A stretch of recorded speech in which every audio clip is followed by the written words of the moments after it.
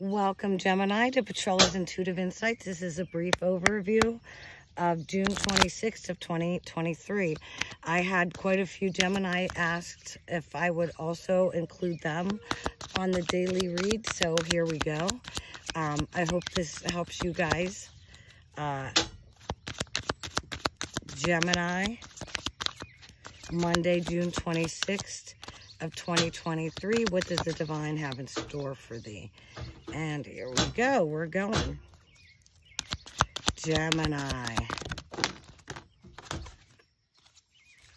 Ooh, trust and marriage. Gemini. What does the Gemini need to know as they're listening to this video for Monday, June 26th? Isn't this interesting? This is so interesting using a couple different decks. Um, first of all, Gemini, I'm the good shepherd, and the good shepherd giveth his life for the sheep. So, you know, we're always giving of ourselves for others. And and I just want to say this. When giving of yourself, that could be watching uh, what you say, how you present yourself, how you dress, how you come across. That's all giving yourself for others, quite honestly. And here is simplicity and the truth, which I want to bring up marriage and trust in this other deck. Because here we have the truth and trust. And really, there's nothing simple about marriage, but the simplicity, keep it simple. Keep it simple.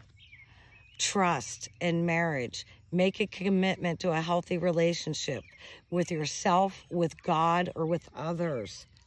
It just doesn't mean, you know, a physical union. Gemini. What do the Gemini need to know as they're listening to this video? Hey, yeah, here you go. Some disagreements.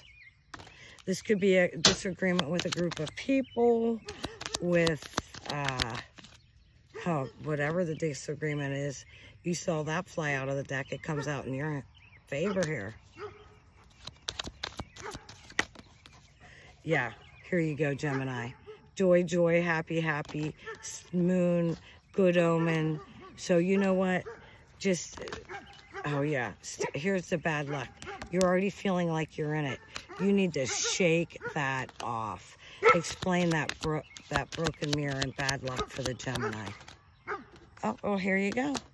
Well, there you go. So you do shake it off, Gemini. You end up shaking off this negative energy. Any other messages for the Gemini? I'm sorry about that. That's, oh, hey, celebration. This is a good, I'm trying to get my readings to go like 25 minutes or, you know, 30 minutes. I can't.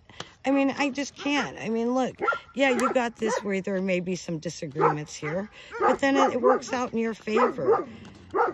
Here's the joy card, the celebration card, celebration card.